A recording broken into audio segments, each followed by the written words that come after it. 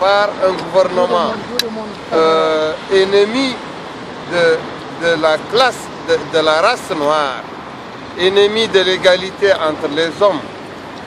Je suis venu ici dire le deuil de l'Union africaine qui a eu comme président en exercice un homme qui pratique, protège l'esclavage dans ses pratiques ancestrales, inhumaines et multiformes dans son pays.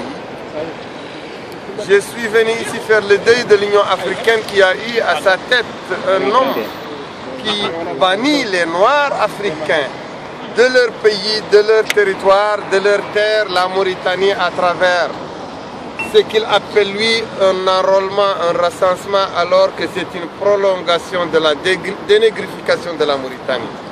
C'est une prolongation et c'est un renforcement de la chasse aux Noirs en Mauritanie, de la, du génocide contre les Noirs en Mauritanie.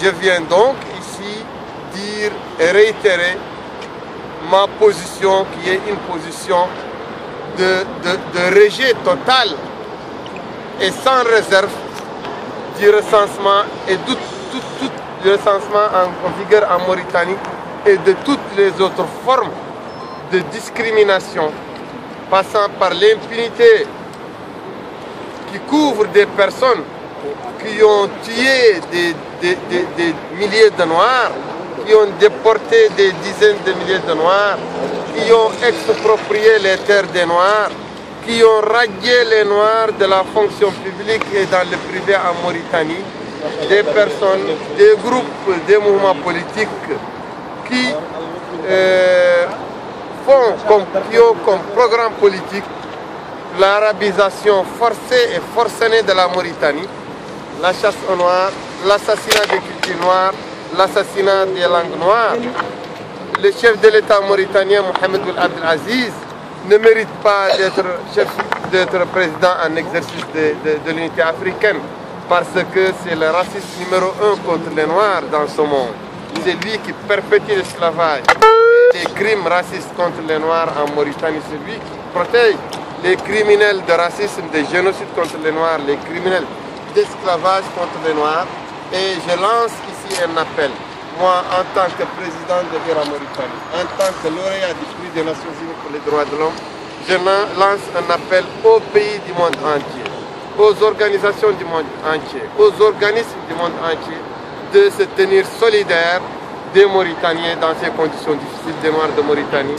L'apartheid en Afrique de l'Ouest doit être combattu. L'apartheid en Afrique de l'Ouest doit être éradiqué. L'apartheid en Afrique de l'Ouest doit être sanctionné. Ce n'est pas avec la fin de l'apartheid en Afrique du Sud qui est implantée par les Afrikaners que la lutte de l'Union africaine des Africains et des hommes libres de juste dans le monde est terminée.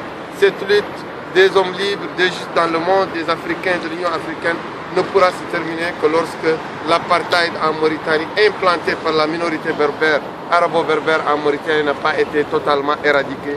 Donc nous, nous allons continuer cette lutte et nous n'allons pas nous arrêter. Nous nous appelons tout le monde à nous rejoindre dans cette lutte. En bas, le recensement discriminatoire en Mauritanie. Et je dénonce le silence des autorités françaises. Je dénonce le silence des organisations syndicales françaises qui ne sont pas solidaires avec ces travailleurs mauritaniens qui sont privés de leurs droits, privés, de leurs droits, privés de leurs droits les plus fondamentaux, les droits légitimes par des décisions apocryphes anti-travailleurs, des décisions racistes du gouvernement mauritanien qui sont cautionnées jusque-là par l'administration française. Et je vous remercie. Merci.